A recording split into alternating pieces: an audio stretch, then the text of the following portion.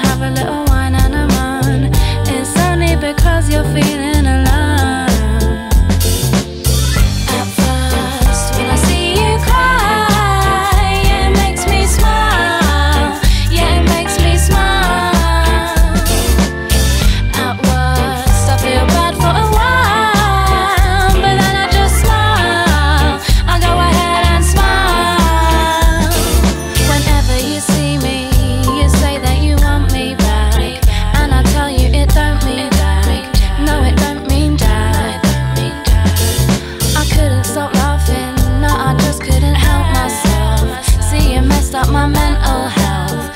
I was quite